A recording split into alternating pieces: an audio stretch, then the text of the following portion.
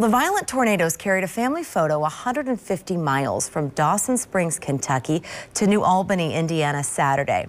I saw this posted on Twitter. Katie Poston founded this, uh, this picture. It's a nearly 80 year old photo.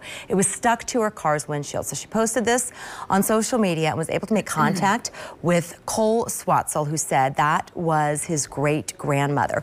Swatzel says he was amazed to find out the photo had traveled so far.